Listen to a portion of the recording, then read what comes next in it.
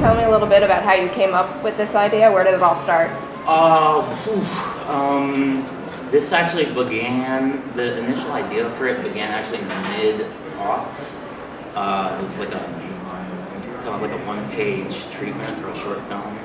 Um, and uh, uh, about a year and a, like 18 months ago, I've been doing a lot of reading and research on the particular issues in this in this uh, movie, and um, I called up my uh, close collaborator who worked on a bunch of projects in the past, uh, Sigrid Gilmer, and um, kind of pitched this idea, and we started working on it. It was going to be a short film, and by the time you know we got like 45 pages into it, it's like, wow, we can do a whole thing of this of two people in one apartment for a feature film and I thought that was a really exciting idea to keep something really contained, and there were so many levels to, to what we were doing. Um, and so it just kind of came together all like that. And it started a very conceptual um, place. Uh, that's where everything kind of like begins in my head, and, and, and then it's just kind of like drawing in all the right people to kind of fill that out. You know, it really is a collaborative. I don't believe anymore in this auteur theory, you know, kind of thing. It's really everybody's individual contributions that you know, make, that tell me what this thing is. And, and it started in this idea of, you know, I've been watching a lot of like romantic comedies and like sitcoms.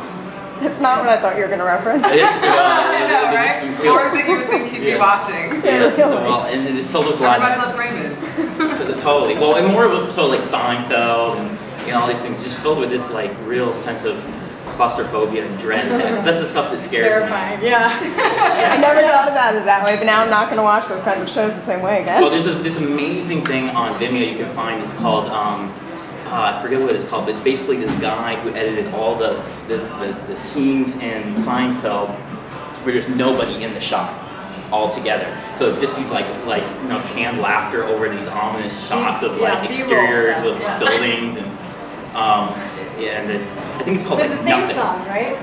Yeah, well you hear the tail end of it, you know, the slap bass, yeah. that kind of thing. Um, so yeah, so that's that's that's kind of where I started that, and in particular, sort of, um, and then you know, as, as we were putting this together, and you know, basically movies are made four or five times over, you know, in the writing, and then the, the casting of all the people, and then in the filming, and then in the editing, and then the re-editing. So that's like five times. Um, and in that, each step of the way, I sort of understand what is going on here. And what starts out is something that's very conceptual, and these ideas becomes very personal.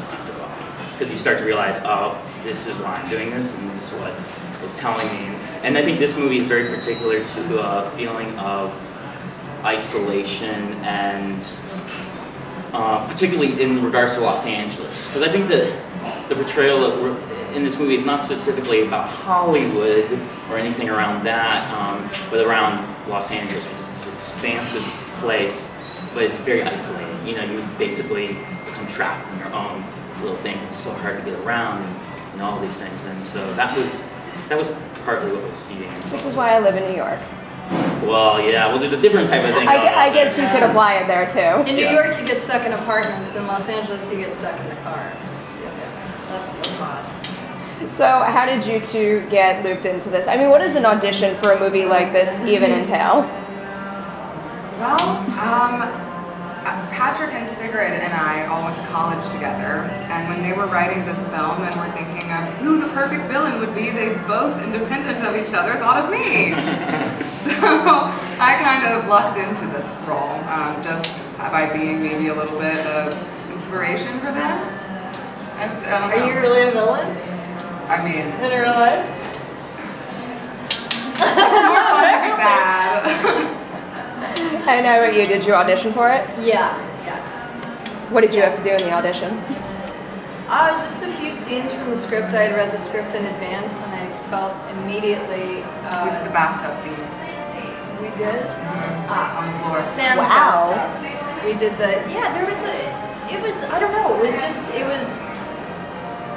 I felt connected to it right away and I didn't know anybody involved in the production, but I thought, oh my god, if I don't get this, then I'm wrong about myself and the world. And there's, it felt like I just, I really felt attached to it. And uh, so yeah, I met him in the met Patrick and Sigrid and everybody in the casting process. Did you get the sides for the audition, or did you see the whole script? I think I read the script. What was your first impression of it, and like kind of what you'd have to put yourself through for this? Am I allowed to curse? Oh yeah, go for it. Uh, I was like, well, fuck yeah, this is this is for me. Yeah, this is this is mine. And other actors might read the script and think, oh my god, I want nothing to do with this, or this is gonna be too much, or. But it just, I knew, I knew right away whoever wrote the script was somebody that I could work with, and this was a character I could really sink my teeth into. So. And how do you feel about certain foods that you had to work with in this movie now? Oh, Because like I know that's a good I didn't want to eat any of those after watching the movie. Yeah, I'll probably never eat a pop tart again, to be honest. Uh, yeah. I was thinking I- more I- macaroni and cheese. I I'm having a hard time looking at that Macaroni right and now. cheese, yeah, I guess I haven't consumed that either. I mean, in, in my little dressing room, I had my, my kit, you know, it was like Pepto-Bismol, Advil, uh, seltzer water, like, Maalox. and yeah, and to be honest, I haven't, um, I haven't been eating as much. well, I have a confession to make. I am a convert to the chimichanga now. Really? I totally Fritos? like, and I buy them like the nasty ones from Costco. Like, And yes. do you put them in a bag of chips? No, I actually I haven't taken it to that level, but I do keep those around in my freezer now. Thanks, You were, guys. you were so into it when we were shooting I know. Well, also because I had been not, I lost quite a bit of weight over the course of the shooting, and so the scenes where I did get to eat, I was like, yes, like let's go. Yeah, but your body couldn't really handle uh, Yeah, it did kind of. It was crazy. I can't even imagine how like your body can handle eating that much because I mean I assume you were eating most of it, right? Yeah, and so like We had you were buckets. eating. Yeah, we had spit buckets. Oh, you were lovely. eating. I was eating everything, and so I didn't eat. You know, when when we broke for lunch, I was like, "That's no, I'm not." Had enough Pop Tarts. The excess flesh diet. You guys should make like a cookbook or something. The next. excess flesh diet. Yeah. You want to lose weight? or You want to gain it? We need to loop it in somehow and get like the box tops one because it's all like pre-processed, like ridiculous, like only things made at craft. Is there any reason you chose these specific foods to focus on, or did you let them choose at least what they like to eat to a point? No, that was all. Uh, that was all in the script. Pop tarts are always a big thing. Mac and cheese. Um, mac and cheese. Um, yeah, that was all. That was all there. Obviously, we you know created kind of parodies of these different um, brands, you know, for, for the movie. Uh, you know, it, it was also to the idea with the style of this was to you know ultimately it's, it's like this this movie to me is about this idea of subjective reality and you know how we how everybody sort of creates their own you know vision of reality. There is no you know base reality basically. And that's what this movie is basically. I mean that's what this the, the style that's the, the the story that's going on. So everything in it is a, is a projection of some sort. So you take you, you feed in all this sort of like information that we're getting from pop culture and from you know all this, these commercial products and all these things and then it, it kind of gets regurgitated in this twisted sort of No pun intended. yeah yeah well, well um, so yeah but that was all there was I all feel like there. this movie is ripe for puns. yeah Uh, maybe it'll, maybe it'll be, become a part of pop culture because it really is a rehash, you know, on all this. Like it's kind of a remix. Yeah. It's got that feel to it. It's got like a surreal quality to it. How do you incorporate that kind of stuff in your editing? Like specifically maybe the slow motion because it does feel very natural the, the places that you choose to put it in. Um, yeah, I mean that was always an important sort of uh, part of this sort of. I, I really really like shooting at high speeds and slow motion too, especially to heighten these, these really kind of growth, you know, these things that we don't want to see seen in that way. You mean like biting off a duck head? yeah, biting off a duck head. you know, I mean, you know, all that stuff. It was, um, yeah. Th- I mean, th- overall, the a lot of people have been sensing with this thing is we were shooting with very very long lenses, very very close, and so it has this little very flat quality and very very claustrophobic. You know, and then you know the different changes in terms of moving into these spaces where you know it's all about that, you know, the chewing and the eating because, you know, I mean, I, I get that feeling a lot too. You know, it's like I, I don't like to watch other people eat. You know, I mean, does anyone? no, no, No, not but it's such a social Unless it's that. Kobayashi guy and the hot dogs, then I'm in. He gets away with it. yeah. Well, what I love is that eating is normally such a social event, but in, in this, it's really personal. It's like super personal. You know, my character does all of her eating alone. I don't think she eats one thing if, you know, she doesn't eat in public, and that, that's, she makes a point of that. Can you guys talk a little bit, without giving it away, about incorporating the big twist? Because you kind of have to be hinting at it the entire time, but not giving it away. Can you gauge how that's working at all while you're on set shooting it, or does all that come through in editing? Um, I, We did a lot of work at the beginning that was really helpful of Bethany and I doing a lot of movement exercises together and getting really comfortable and kind of feeling out each other's physicality so that we could kind of mirror each other in a lot of respects.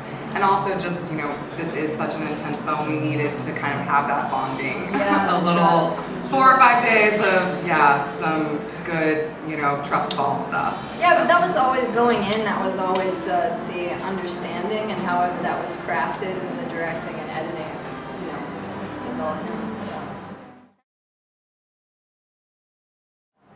How is it taking this through the editing process? Because I mean, you you wrote the movie, you directed the movie, now you're editing the movie, and I imagine you're watching it like time and time again. Are you able to gauge if it's working anymore or not at a point? No, not at all. I don't know if it's, yeah, I don't know. Uh, I don't know, I mean, uh, you know, I mean, from, from my point of view, I really don't think there is a twist per se. I mean, there's, there's, there's no, there's no moment that. It, it, it is, it's just kind of gradual, and it's all there. It's all there in in in language of the, the film, you know, and in the language of the uh, editing. Um, but yeah, I mean, any filmmaker is gonna, you know, say this. I mean, just you're sitting with that thing for. Oof, when we shot this a year ago, you know, in this, in this, um, in March, in March of 2014, um, and uh, so I was in post for, you know, we this this version, yeah, this version that's that's premiering at, uh, tonight um, is uh, finished late January, just like a month ago. Still pretty impressive to turn around a whole feature in a year though, and have it premiering somewhere True. like South by. Well, I have a really great team around me that's that helps support this and, and has you know pushed it forward. So uh, again, like I said, you know, I mean, th- this whole process is not just about one person. You know, even three people. It's about a lot of people. Um, so it, it wouldn't have happened without all that, and also all the insights that we've been getting back as people watch different versions. Because there are different versions of this movie, um, and uh, you know. Can you talk a little bit about how it's changed from cut to cut, or maybe even from you know first draft to what you did on set to post? Well, uh, I think a lot of people. I don't not not these two, but I think a lot of people going into this with what the script was were thinking it was going to be a certain thing, whereas my style is a different thing. and there's The actually like like a comedy. Yeah, basically. That's what we do. Like we write comedies, and then you know, it's like then I, you know, that's the only way. That's the way it makes it bearable. You know what I mean? That's because I always think like everything I, everything that I'm involved with is is hilarious, and I think this movie's hilarious, but nobody else thinks that at all. Uh, and that, and that's I guess that's just Subjective reality. yeah. I think I- they will. I think they will. Maybe, maybe. It, it depends. I mean, this is not a movie that's really specific to genre audiences. I mean, we've been put in, in the, in the midnight section here in South by Southwest with a lot of other horror movies. And, and I never really was going at this in, in terms of like trying to make a horror movie at all. You know, I mean, that's just kind of how it turned out um, in, in a way. Um, and even now, I, I really don't sort of perceive it as such. But It's like a thriller. yeah, I mean, it's horrific, but not in not in the predictable horror type of way. Is there any kind of concern about it being too horrific? Like when you were on set shooting, maybe were you ever like, all right, maybe this is too much. Let's pull back just a little bit. Um, mo- a lot of the, our crew yeah, felt that. way. I never felt that. I was always pushing, pushing. I wanted to go further, personally. I, I felt that way. Many, many times I was like, I was like, okay. Did you shoot anything that isn't in the final cut? Oh yeah, yeah, yeah, yeah. I mean, uh, m- m- my version of this movie is is uh, 35 minutes longer than what, what we have here, and from all of what we shot, it would, it would probably been like a three and a half hour movie. Um, so there's yeah, there's a lot of material, um, and uh, but you know, I think that this the where the movie's at right now is really really strong, and I'm, I'm excited to see how people you know respond to that. I'd be curious to see a director's cut, but as it stands, it is very tight and Yeah, it goes definitely. pretty quick, pretty quick and smoothly. Yeah, definitely. I mean, I'm I'm a big, personally a big fan of like just kind of like that, I guess you call it the slow cinema, you know, kind of thing, where you know a lot of this stuff was played out. We we were shooting in, in one take, you know, a lot of scenes, and some, a lot of those remain intact in this in this version. Um, and what I really got handed to, we- we have a really aggressive shooting schedule, and most of. Uh, So three weeks. yeah, I mean, we didn't really do more than four takes of anything. I mean, some of that stuff was really. I feel like that's better shot, off for you take. when you need to eat stuff, though. Yeah. I mean, you can't do. Well, when we need to eat stuff. Yeah, but it's also it's also like uh, you know now's the time. Without the having having a bunch of takes in some ways a luxury, but in other ways it's a it's a barrier because you know you've got time to mess around and do. But but when you know you've got just a little bit of time, you I I anyway go in with guns blazing right away. It's that seems to work a lot better for me. How about shooting in one location? Is that a good thing that you don't have any company moves, or are there certain elements of that that kind of make it maybe? I mean, I guess claustrophobic for you guys to be stuck in there all the time. No, for, for me, like that, um, I, I wanted to be really attached to the to the place and set, and I actually slept there the night before we, we started shooting because I I wanted it to feel like you know my place. Um, it was kind of nice. No company moves. Did you get to shoot in order? Because I imagine you'd have to have a nice place and then destroy it. No. Um, we shot pretty much in order. We had to jump around for a few things, but we did shoot pretty much in order to allow me the time to lose weight over that three weeks, right. Otherwise, which I lost about 20 pounds. I can't even In imagine. like I can't weeks. tell now what's more difficult, having to eat all that food or just having to lose all that weight. I was very hangry by the end. Very hangry. by the end. Ve- very reasonable. Are you concerned at all with like how, because like eating disorders are a big thing, with how people will perceive that element of it? No, I mean, I I think that this is pretty realistic and honest about that. You know, so we, we, we did our, you know, we, we've experienced a lot of things and, you know, we've done our research too, you know, so I, I, I never really, I mean, everybody's gonna have their different sort of opinions about those types of things and this is gonna make people uh, uncomfortable. Not necessarily in the ways I think people are expecting to be made uncomfortable. We're Um, definitely not glamorizing it. though. yeah, No. yeah. Uh, But it's kind of like what you said about the comedy earlier. I feel like either you could take this almost in kind of like a playful, eccentric manner, or you could look at it like like a deeply horrific experience. Hopefully, all of that. Yeah. Yeah. That's- that's. But yeah, in, in regards to that, the, the question you had about the, the um, one location thing, yeah, it was it, it became really claustrophobic after a while because it was it was a set actually, it wasn't a real place. You built the whole interior of the apartment. It was entirely a set. That's why it has that weird, you know, it was like it needed to be a very particular sort of thing that we could only sort of build, and also to trash it. Yeah. that we did. As it That building up, sense. building up, and this, as the smell is getting, we, yeah, Yeah. it was. Because I like to do all this stuff for real. You know I mean? When we put the trash on the set, we left it there. I'm not quite as bad. crunch, crunch.